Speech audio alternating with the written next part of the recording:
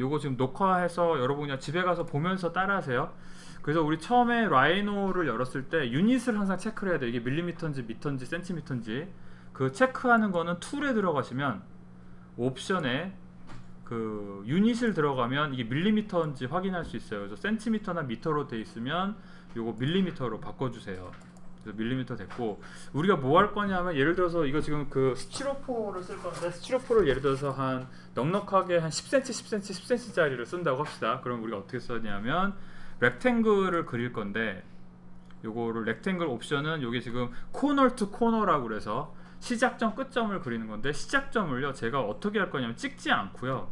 0을 칠 거예요. 여기 보면 0이라고 써졌죠 0 0을 치면 이게 origin에다가 쓴다는 거고요 우리가 10cm 10cm니까 100mm 100mm죠. 그래서 100을 치고 엔터 치고 100을 치고 enter를 치면 이게 지금 10cm짜리 100mm 100mm짜리 스퀘어가 그려진 거예요. 그럼 우리, 이거 몇 개가 필요하죠? 6개가 필요하죠. 그래서 이거 copy라는 명령어를 칠 거예요. 여기 보면 copy 있죠? copy 치고 엔터. 그래서 select를 하고요 이게 보면 select object copy하고 press enter when done이죠. select를 했기 때문에 제가 enter를 칠 거예요. 그러면 point to copy from이죠. 어디서 어디까지 카피를 할 거냐예요. 그래서 시작점을 아무데나 찍을 거예요. 그 다음에 이제 왔다 갔다 할 수가 있는데 제가 shift를 누르니까 이게 constrain이 걸리죠. 위쪽으로 constrain이 걸리던가 오른쪽으로 constrain이 걸리던가 이거를 그래서 하나 둘셋넷 다섯 여섯 개를 그릴 겁니다. 여섯 개가 있죠. 근데 지금 여러분들 알아서 하시 이거 다음, 다음 주에 한번 한 번 더 할게요. 근데 집에서 연습을 한번 해보세요. 여기서 지금 이거 두께가 우리가 이걸 쓸 건데 이게 제가 보기에는 한 7mm 정도 되는 것 같아요. 제가 한번 다시 한번 확인을 해볼게요. 그래서 7mm를 그릴 거라서 이 라인을 갖다가 아니면 이렇게 해도 돼요. 얘 선택을 잡고요. 옵셋이라는 명령어를 치면 옵셋이 안쪽으로나 바깥쪽으로 특정 두께의 그림을 하나 더 그려줘요 그래서 offset을 치고 distance를 7mm로 할 거예요 그러면 우리가 안쪽으로 offset을 하면 7mm 안쪽으로 그림이 그려집니다 그리고 엔터를 누르면 돼요 됐고 예를 들어서 우리가 여기다가 이제 그 어, 이거를 갖다가 우리가 노치라는 걸 소위 만들 거잖아요. 그래서 노치를 우리가 3개짜리를 만들 거니까 얘를 divide를 3등분을 해야 돼요. 그래서 divide라는 걸 치고 엔터를 친 다음에 3개를 누르면 다시 3개. 아. 요렇게 하면 요렇게 3개가 되죠. 4개니까 3등분 하고 싶으면 몇 등분을 해야 돼요?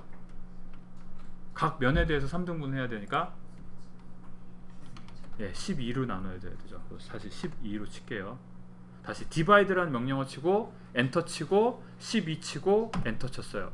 그리고 한 번 더 그 다음에 그 number of segment 아, 잠깐 12 치고 엔터 치고 하면 다 3등분 3등분씩 다 됐죠. 그 다음에 우리가 할 게 뭐냐면 다시 요거 polyline인데 그냥 line segment인데요. 요거를 왼쪽으로 클릭하고 얘를 그려서 수평으로 할 거라서 그냥 쉬프트를 누르고 그릴 거예요. 그리고 끝났으니까 엔터 치고 한 번 더 라인 그리고 끝나고 왼쪽 치고 끝난 점 여기. 자 사실 요거를 계속 반대쪽에도 그릴 거잖아요. 그래서 다시 옆에다 그리는 거 대신에 그냥 카피할게요. 그래서 이거 다시 셀렉트해서 그 다음에 카피를 하지 않고요. 반대쪽에다 그려야 되니까 미러라는 명령어가 있어요. 미러라는 걸 치고 스타트를 여기 어디 적당히 아, 가운데다 해야 되는데 그냥 요 바로 옆에다 할게요. 그러면 어떻게 됐어요? 바로 오른쪽에다 그려졌죠? 그러니까 mirror인데 가운데 점에다 하면 더 쉬워져요. 아, 더 제대로 하려면 이렇게 하면 되겠다. 그 여기다가 가운데다가 polyline으로 요 끝점과 끝점에다 그리, 라인을 하나 그렸어요 그 다음에 여기다가 mid point에다가 여기 지금 제가 object snap이 켜져 있기 때문에 mid point에다 점을 하나 찍을 수 있고요. 아 잘못 찍은 것 같은데? 아 제대로 찍은 거 맞다. 포인트 넣고 요 가운데 가다 보면 아 mid가 안 돼요. 왜냐면 여기 꺼져 있어요 옵션이 mid가. 그래서 mid 옵션을 키고 여기 가운데다 mid에다 점을 찍으면 돼요. 그 다음에 왼쪽을 select를 다 해버리고 mirror라는 명령어를 친 다음에 이 mid point를 기준으로 또 쉬프트 버튼을 누를게요. 딱 각도를 맞추기 위해서 하면 딱 반으로 mirror가 됐어요. 그래서 우리가 그릴 게 뭐냐면 이제 layer를 이제 바꿀 거예요. 그래서 layer를 지금 layer default layer에서 작업하고 있는데 layer 1으로 우리가 바꾸고 나서 왜냐하면 아웃라인을 따로 할 거니까 제가 라인을 그냥 이렇게 위에를 이거는 이제 숫놈이 되나요? 숫놈 surface를 만들고 그 다음에 암놈은 어떻게 되죠? 요거의 반대가 되죠. 근데 요거는 어떻게 하면 되냐면 그냥 이 커브를 가져다가 복사를 할 거예요. 복사를 할 건데 지금 왼쪽 끝에 있는 게 이거의 제일 왼쪽에 와야 되죠. 그래서 얘네 둘을 아까 이거 빨간 거 보면 알겠죠? 얘네 둘을 하면 그 딱 얘네가 되겠죠.